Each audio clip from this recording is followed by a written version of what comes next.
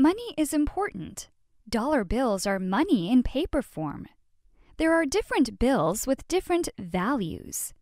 In the United States, we use 1, 5, 10, 20, 50, and $100 bills most often.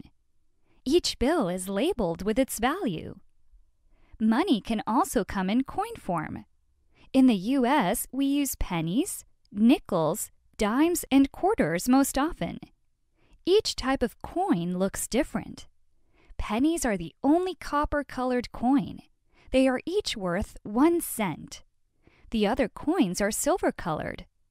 Nickels are worth five cents. Dimes are worth 10 cents. They are the smallest of the coins. Quarters are worth 25 cents and are the biggest of the coins. When counting money, we can add up the value of each coin. Colleen received change after buying milk at the store. Let's look in Colleen's wallet and count her change. Let's start with the paper bills. Colleen has two $1 bills. That's $2. Now let's count the coins. Start with the coins with the highest value.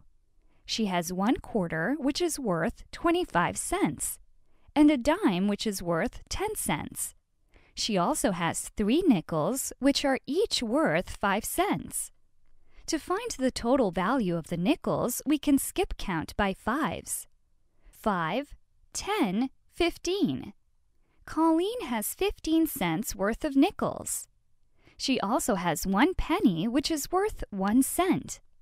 When we add up the values of the bills and coins, we see that Colleen received $2.51 back as change.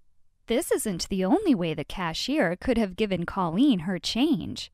We can make different combinations of bills and coins to represent the same amount of money.